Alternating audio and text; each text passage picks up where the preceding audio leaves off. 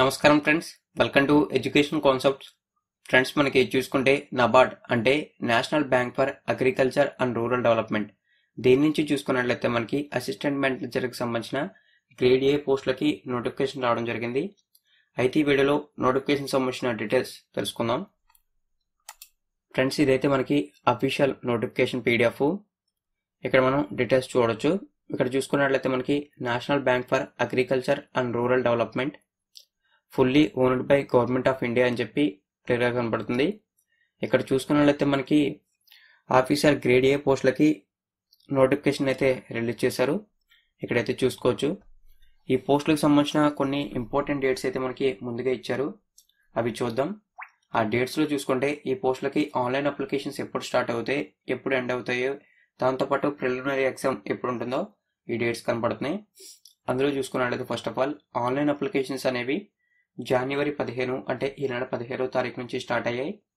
ఇక ఆన్లైన్లో అప్లై చేయడానికి లాస్ట్ డేట్ చూసుకుంటే నెక్స్ట్ మంత్ మూడో తారీఖు అంటే ఫిబ్రవరి మూడో తారీఖు అనేది ఆన్లైన్లో అప్లై చేయడానికి లాస్ట్ డేటు ఇక ఈ పోస్టులకు సంబంధించి phase one preliminary online exam చూసుకున్నట్లయితే ఫిబ్రవరి ఇరవై ఐదు అంటే నెక్స్ట్ మంత్ ఇరవై ఐదో తారీఖున జరుగుతుందని చెప్పి మెన్షన్ అయితే చేశారు.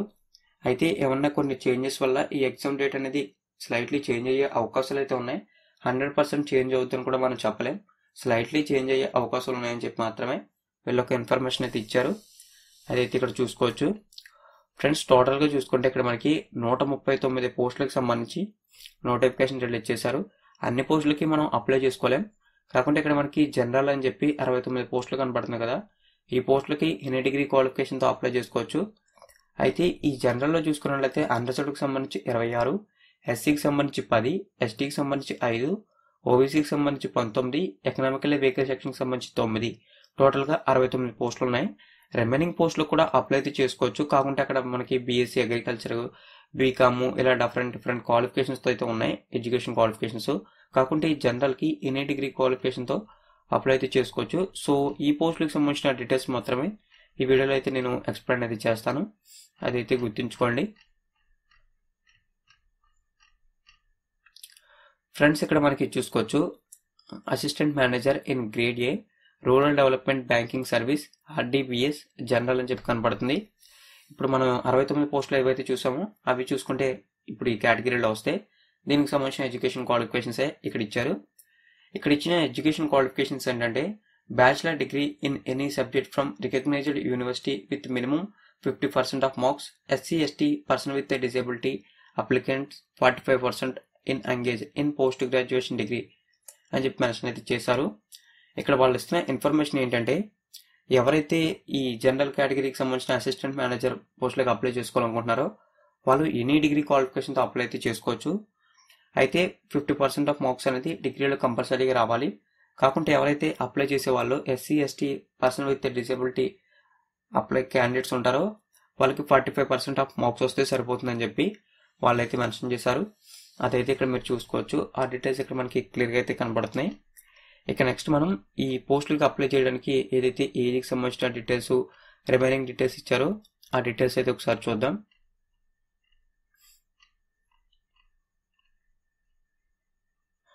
ఫ్రెండ్స్ ఈ పోస్టులకు అప్లై చేయడానికి ఏజ్కి సంబంధించిన డీటెయిల్స్ చూసుకుంటే మినిమం ట్వంటీ వన్ ఇయర్స్ అయితే ఉండాలని చెప్పి మెన్షన్ చేశారు. మ్యాక్సిమం థర్టీ ఇయర్స్ వరకు అప్లై అయితే చేసుకోవచ్చు.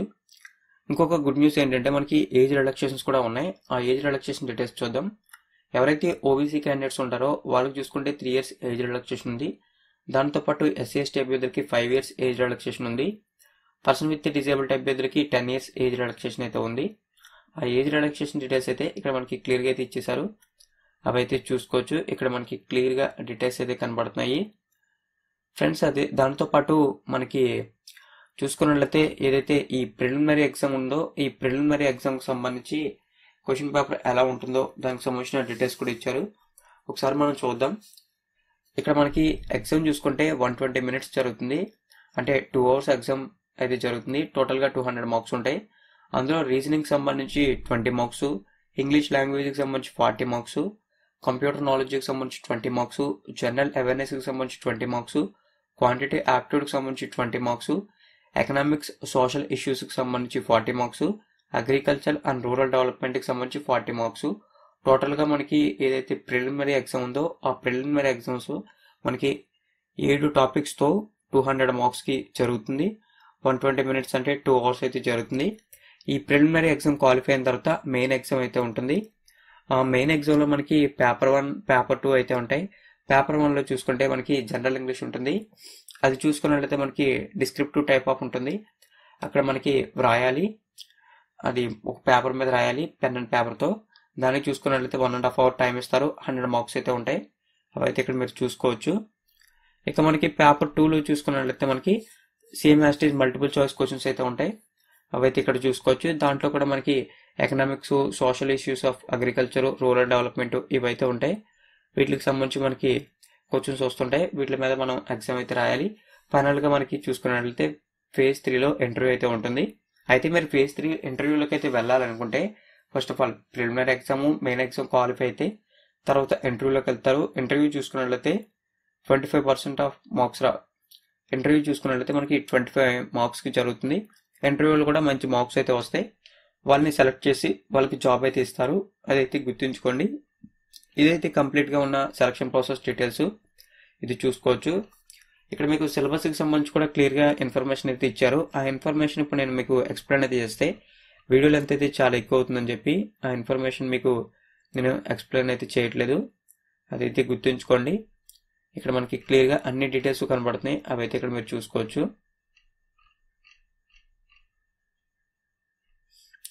ఫ్రెండ్స్ ఇక ఎగ్జామినేషన్ సిటీస్ ఎక్కడ ఉంటాయని చెప్పి చాలా మందికి డౌట్ ఉంది. ఫస్ట్ ఆఫ్ ఆల్ ఆంధ్రప్రదేశ్కి తర్వాత తెలంగాణకి చూద్దాం. ఆంధ్రప్రదేశ్లో చూసుకుంటే చీరాల శ్రీకాకుళం గుంటూరు కడప కర్నూలు నెల్లూరు రాజమండ్రి విజయవాడ విశాఖపట్నం తిరుపతి కాకినాడ విజయనగరం. ఆంధ్రప్రదేశ్లో చూసుకుంటే ప్రతి జిల్లాకి సంబంధించి ఒక్కొక్క ఎగ్జామ్ సెంటర్ అయితే ఉంది. మీరు ఎటువంటి కంగారు పడవలసిన అవసరం లేదు. ఇక తెలంగాణకు సంబంధించి అయితే చూద్దాం. తెలంగాణకు సంబంధించి చూసుకుంటే హైదరాబాద్ రంగారెడ్డి కరీంనగర్ వరంగల్ ఖమ్మం. ఇవైతే ఎగ్జామ్ సెంటర్స్ హైదరాబాద్ సారీ తెలంగాణలో చూసుకున్నట్లయితే మనకి ఐదు ఎగ్జామ్ సెంటర్స్ అయితే ఉన్నాయి. అవి కూడా మీరైతే ఇక్కడ చూసుకోవచ్చు. ఆల్మోస్ట్ ఆల్ రెండు తెలుగు రాష్ట్రాల్లో ఎక్కువగానే ఎగ్జామ్ సెంటర్స్ అయితే ఉన్నాయి. ఎవరైతే అప్లై చేసే క్యాండిడేట్స్ ఉంటారో వాళ్ళు ఎటువంటి భయం పడవలసిన అవసరం లేదు. చాలా సింపుల్గా ఎగ్జామ్ సెంటర్స్ అయితే అప్లై అయితే చేసుకోవచ్చు. ఇక అప్లికేషన్ ఫీజు డీటెయిల్స్ అయితే చూద్దాం. ఫ్రెండ్స్ మనకి అప్లికేషన్ ఫీజు చూసుకున్నట్లయితే ఆరు వందల యాభై రూపాయలు ఉంది అవి కాకుండా ఇంటిమేషన్ ఛార్జెస్ ఇంకొక వన్ ఫిఫ్టీ రూపీస్ ఉన్నాయి. టోటల్గా eight hundred rupees application fee ఉంది. అయితే ఈ eight hundred rupees application fee చూసుకుంటే only general OBC candidates economical weaker section క్యాండిడేట్స్కి మాత్రమే అప్లికేబుల్ అవుతుంది. అయితే ఎవరైతే SC ST person with disability ఉంటారో వాళ్ళకి చూసుకుంటే one fifty rupees intimation charges pay చేసి ఈ పోస్టులకి అయితే అప్లై అయితే చేసుకోవచ్చు. ఇదైతే గుర్తుంచుకోండి. ఇక శాలరీ ఎంత వస్తుంది అని చెప్పి చాలా మందికి ఒక డౌట్ రావచ్చు. దానికి సంబంధించిన ఇన్ఫర్మేషన్ ఇప్పటివరకు నేను ఎక్కడ మీకు చెప్పలేదు కాబట్టి శాలరీ చూసుకున్నట్లయితే అప్రాక్సిమేట్లీ మంత్లీ మనకి అరవై రెండు వేల ఆరు వందలు అంటే sixty two thousand six hundred rupees వరకు వస్తుందని చెప్పి మెన్షన్ అయితే చేశారు. ఫ్రెండ్స్ నోటిఫికేషన్ సంబంధించిన అన్ని డీటెయిల్స్ నేను మీతో షేర్ చేసుకున్నాను. వీడియో కింద డిస్క్రిప్షన్లో ఇప్పుడు ఏదైతే నేను డీటెయిల్స్ చెప్పానో ఆ డీటెయిల్స్కి సంబంధించిన పీడిఎఫ్ లింక్ ఇస్తాను. దానితో పాటు ఆన్లైన్లో అప్లై చేయడానికి సంబంధించిన అఫీషియల్ వెబ్సైట్కి సంబంధించిన లింక్ కూడా ఇస్తాను. ఫస్ట్ ఆఫ్ ఆల్ మీరు చేయాల్సిన పని ఏంటంటే ఆ పీడిఎఫ్ని అయితే డౌన్లోడ్ చేసుకుని నేను చెప్పిన డీటెయిల్స్ క్లియర్గా ఉన్నాయా లేదా ఇంకా మీరు ఏమైనా తెలుసుకోవాల్సిన డీటెయిల్స్ ఉన్నాయా అవన్నీ ఒకసారి క్లియర్గా చెక్ చేసుకోండి. ఒక ten to fifteen minutes check చేసుకున్న తర్వాత ఈ పోస్టులకి మనం అప్లై చేస్తే బాగుంటుంది అని ఒక థాట్ మీకు వస్తే అప్పుడు అప్లై అయితే చేసుకోండి. అదేవిధంగా ఈ వీడియోని చూసిన తర్వాత వీడియో నచ్చినట్లయితే లైక్ చేయండి. ఫ్రెండ్స్ కూడా వీడియోని షేర్ చేస్తే వాళ్ళు కూడా ఇన్ఫర్మేషన్ తెలుసుకుని ఇంట్రెస్ట్ ఉంటే అప్లై అయితే చేస్తారు. మరిన్ని ఇటువంటి రెగ్యులర్ జాబ్ నోటిఫికేషన్ అప్డేట్స్ కోసం మీరు చూస్తున్న వీడియో కింద ఉన్న రెడ్ కలర్ సబ్స్క్రైబ్ బటన్ అయితే క్లిక్ చేసి పక్కన వచ్చి బెల్ ఐకాన్ని యాక్టివేట్ అయితే చేయండి. థ్యాంక్ యూ ఫ్రెండ్స్ వీడియో అయితే వాచ్ చేసినందుకు. చూసుకుంటే cotton corporation of India limited నుంచి మనకి జూనియర్ అసిస్టెంట్ పోస్టులకి నోటిఫికేషన్ రావడం జరిగింది.